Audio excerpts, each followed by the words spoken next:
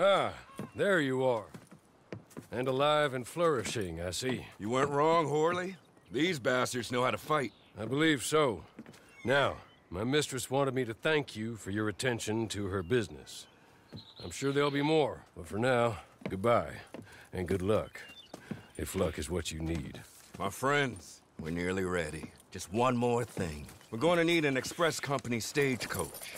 An express company stagecoach and some uniforms. There's a stage outside the jail in Strawberry, and there'll be some uniforms and a supply wagon out on the road nearby. You all go do that, and I'll go get some supplies, and we'll meet back here. It don't take too long.